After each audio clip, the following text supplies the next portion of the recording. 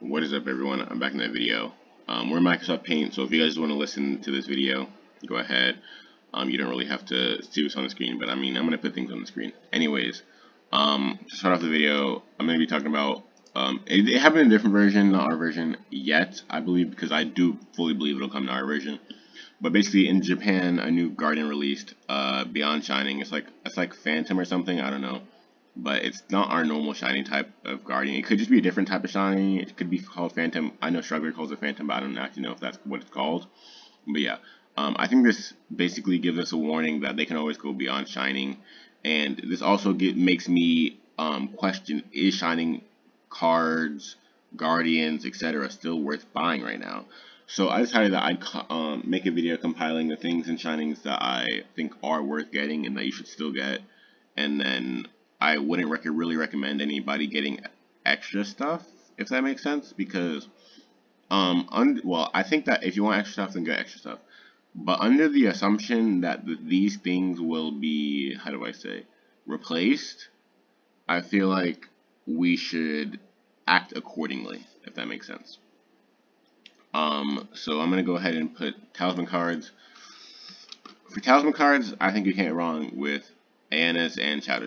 I think the, the, if you have these two talisman cards, you don't really need to worry about buying other ones as of right now because these are basically the best talisman cards in the game. Um, other ones are also pretty good. There's like Emprace, a Diapriest is decent. Um, there is Margina, um, Apolis. There's other other shiny cards, but those are all replaceable in my opinion. They'll be replaced eventually, or they'll be moved to assist or something like something along those lines.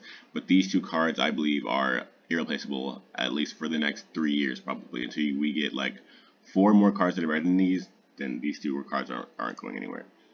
Um, for headwear cards uh, here we go. I have um, shiny Dexter uh, what is it called? Night Monarch Shining Night Monarch and um, Shining uh, Shadow Knight. I think those two are the best headwear cards in the game. They're both worth getting. Um, they both shine outside of these two, I don't think there's a single header card really worth getting right now. Outside of these two, they could add one in rank nine, but they they might not. So, but these two are the definitely bona fide only ones that I would get. Um, and then what do we have next? Uh, armor cards. I think four black hats, like four shining black hats, is like basically. Oh my gosh, hold on, let me redo that. I think for armor cards, you have four shining black hats. Can I just dupe this? I can't. But yeah, four Shining Black Hats uh, for armor cards, in my opinion. I don't think that you should get more than, or well, five, I guess, for the Mountain Courtyard as well. Uh, Mountain Courtyard is also worth, but yeah, four Shining Black Hats, I think that the Black Hat set is worth having. Um, everyone should get this set if possible because it comes with, through the Genki Gacha. Um, so I think that if you do Genki, you should be doing Genki Gacha. Not, yeah, Genki Gacha, Gen Genki event, Genki whatever it's called. Um, to get like these shining black hats and um, I know that there's a shining uh, what's it called? Uh, shining Meloettas as well. Let me go ahead and take a screenshot of those. Uh, sorry for your ears in advance. Uh, I tried to get all the screenshots beforehand but I definitely forgot about that one. Anyways um, yeah shining Meloetta for assist I think is always going to be relatively good. Um, th there's no real area where you shouldn't I don't think that you can say that these are ever going to be bad in assist um, unless you like really well up all your cards and stuff. So yeah, um, those are the armor cards that I recommend and I think are good, worth getting. Um, and I know that I'm the biggest Lionheart Knight preacher. Obviously, I preach Lionheart Knight, but I think this isn't worth it right now. At least right now. I think that this will scale over time. Can I change the color? Scales over time.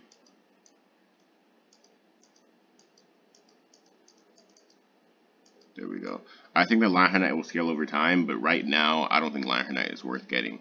Um, because, but yeah, I just don't think it's worth getting right now. I mean, Silver Coin is good, but I also don't really want to afford Silver Coin.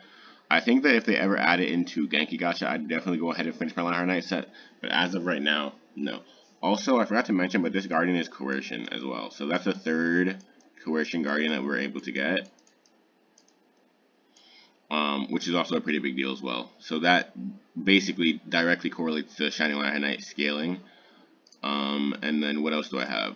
Okay, Guardian-wise, the shiny guardians that if you're gonna get shiny guardians, the guardians that you need are these two, Sakura Envoy and Butterfly, and you can actually double up on these. Double up on these guardians, um, like you can get two Sakura Envoys and two Nether Butterflies. I think that's very worth it, honestly, in my opinion. That's my plan eventually, but right now I'm not really pitying a dice. Um, I'm not really pitying any events lately. Um, I'm not I'm not really too big into getting things like that right now. But I, I do plan on one day doing 100 laps in dice to get the Shining Headwear, which brings me to my next point. the Shining Headwear. Alright, so uh, yeah.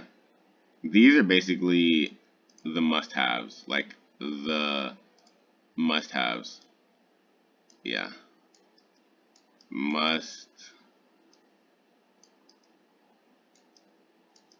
haves or best. Let's say best. These, these are all worth value-wise. The only one that I don't really like the price of is Emprace because Emprace, uh, not Emprace, um, ANS because ANS is really expensive through Bingo event. But uh, Shadow Knight is now in the Genki Gacha. Um, you can get Night Monarch, but Night Monarch used to be with a black hat, but now they changed it to Mio sets or Aguin sets, so I don't really like that. But Night Monarch, you should uh, get this as well. I think that's worth it.